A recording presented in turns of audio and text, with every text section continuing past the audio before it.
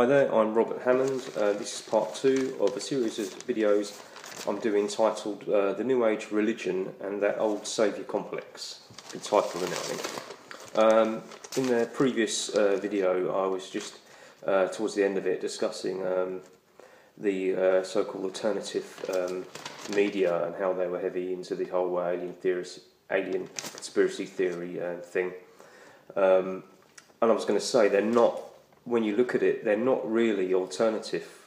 Um, some of them may have started out with honest, honest intentions and then become slowly, steadily wrapped up in the whole thing um, without realizing it. And they kind of got themselves into kind of like a, a, a cult-like fixation with it.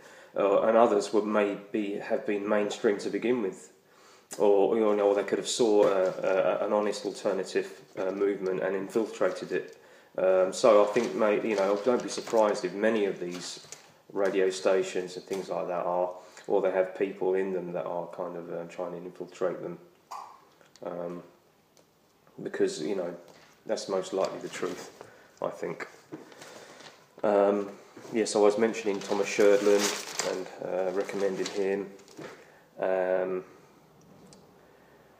um, and the whole how I think also um, the this is serving as a distraction, um, absolutely, um, to real real pressing pressing issues within within the so-called alternative um, media movement and the so-called you know conspiracy um, theory, which is really an outdated kind of um, title, and I don't know what else to call it. I don't know what to call myself. You know, do I need to I call myself a conspiracy theorist anymore? I don't know.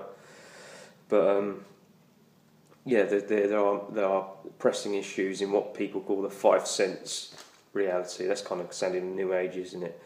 Already. And what I mean is um, the um, the dangers of, of, vaccines, which I spoke of, and and uh, poisoning poisonous food, um, junk food, and and um, um, you know, um, chemical trails, and, and also the whole transhumanism thing with, you know, technology and the uh, threat of the um, microchip and, um, and how our children, are, you know, uh, being brainwashed society is, is really changing for the worst for most people. These are real, um, you know, pressing issues. It looks, you know, to some some it looks okay on the surface, but we are being shaped and changed, and most people don't know it. And I spoke about that with Vance Packard's book titled The People Shapers. I was getting into that eugenics and transhumanism and, and things like that.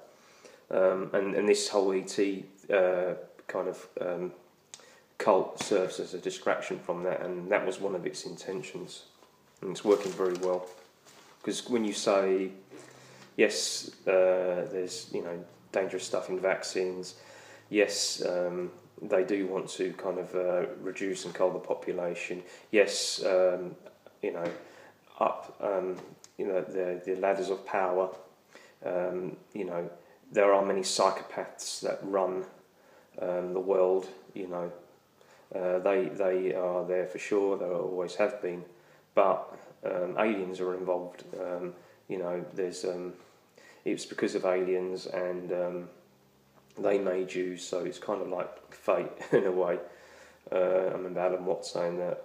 Or uh, even worse, um, there's yes, there's bad aliens, but the good aliens are coming. You know, they're, they're going to come and save you. And I'm going to really go into this how how basically um, Christianity and the and the um, alien um, savior complex are, are are, are identical. Um, just looking through my notes here. Um, also, the whole yeah, oh, the whole channeling thing, um, people channeling uh, entities and beings. Um, that was all um, going on in the '60s with the Ouija board, in a way. Um, yeah, it's you know, the Ouija board, that was that was a fashion, wasn't it? Channeling and things like that. Uh, I remember so, uh, in a, a video um, uh, radio talk show I was listening to, I think someone said, "Why don't you just go and get a Ouija board? you know, you might as well just go and do that if you want to channel things. You know, you're not you're not really kind of making much of a difference um, in helping people. Um, there, there was one video I watched um, while I'm on the topic of this. It was apparently two ladies who, and I don't know their names. I'm not going to say their names if I, if I knew them, but two ladies. Um, apparently, they were um, in contact with extraterrestrials, uh, literal extraterrestrials, on, on another either on another planet or on a mothership. Um, flesh and blood extraterrestrials, as, as I gather. Um, and um, they were channeling to these two women um, information. And one of the ladies was speaking apparently in the alien language, in the alien tongue. She was making all these silly noises. And then the other lady was translating that because she knew the alien tongue, you know, she knew what she was saying. And then she was telling it back, um, uh, talking to this guy who was um, uh, basically um, it was, it was his radio talk show, and these two ladies were his guests. And he was saying, you know, this is such an exciting moment, you know. Um, this is this is a real uh, revelation. This is real progress here. We're finally getting somewhere. We've we've come in contact with some benevolent aliens, and these so-called aliens, according to these two ladies, were um, dealing with the corrupt, uh, psychopathic government on the earth and, and the bad reptilians. They, they were kind of like the clean-up crew, and I'm thinking, oh dear, you know, as much as that sounds exciting to believe, come on. Uh, you've got to, we've got to keep our um, logic and faculties together here. Um, so I just thought I'd mention that one right on topic. Um, I mentioned briefly the, the Fabian Society, and their their um, symbol is a wolf in sheep's clothing. Um, and um, I don't know much about the Fabian Society, but basically, their tactics and their philosophy is uh, to really to shape and change society. You, you, they're not about they don't do it um, overtly; they do it covertly. Um, that's that's their strategy and their philosophy. Hence the wolf in sheep's clothing.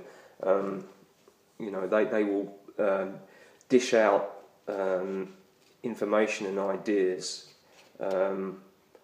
um, often in the form of, of, books and things like that, and plant the seed uh, into people's minds, into the minds of the masses of the general public. Uh, and then will sh- they will shape society like that. And H.G. Uh, Wells was a, was a um, a big influence on that, and um, with um, books like War of the Worlds and things like that, he really um, um, influenced society like that, and that's how effective it is. Um, people think their ideas are their own. People think their their revolution is their revolution when it's not.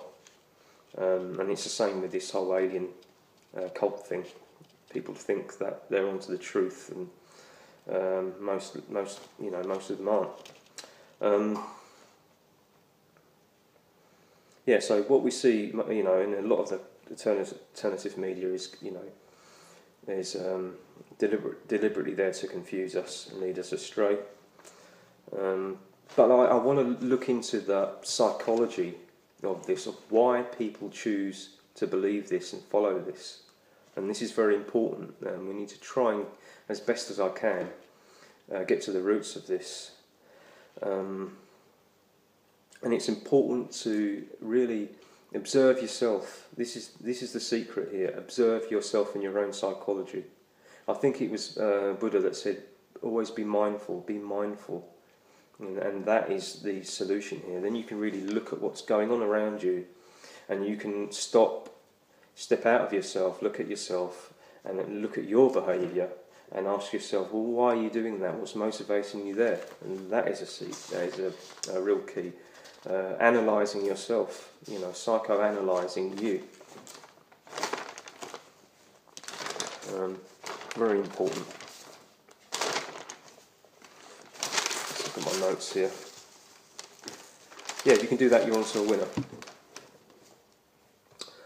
Uh, yeah, you can. It allows you to basically to sidestep out the game and watch it on the side.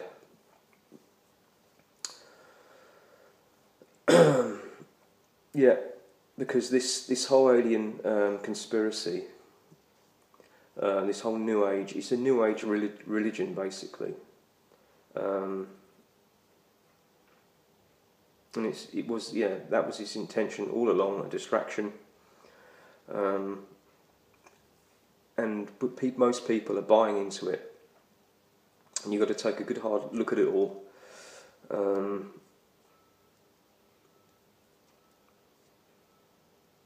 and you know you've got um, even famous people, actors like um, Tom Cruise, with the um, believing you know with involved in the Scientology cult. It's exactly the same thing. Um, you need to look at Scientology and try and see, see it for what it is.